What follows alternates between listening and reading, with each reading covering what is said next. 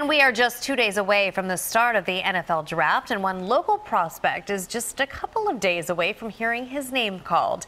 Lesley Van Arsdall has more. Temple's Matt Hennessy is one of the top rated centers in the draft. He was all set to interview with the Eagles in Philadelphia when the coronavirus pandemic shut things down. I was fortunate enough to meet with them at the Senior Bowl and then Combine, which was great, and get to know them a little bit in person. Uh, prior to the shutdown, and the idea of playing there is incredible. And I, I do have to ask, you growing up and being from New York, you're a Giants fan? Unfortunately, yeah, yeah. So I grew up a huge Giants fan, and then obviously spent the last four years in Philly, though. So it was great to be exposed to the Eagles football as well.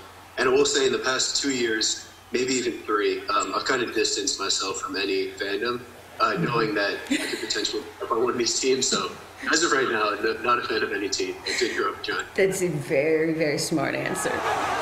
Now, back home in Rockland County, New York, he's adjusting to the new normal just like the rest of us, holding virtual meetings his Temple Tough experience getting him through. That's something that has um, just kind of become part of who I am over the past four years. Um, and I think it's something teams really admire and, and has helped me throughout this process. And he's confident that Temple Tough attitude will lead to big things Thursday night. Reporting from my home studio, Lesley Van Arsdall, Eyewitness Sports.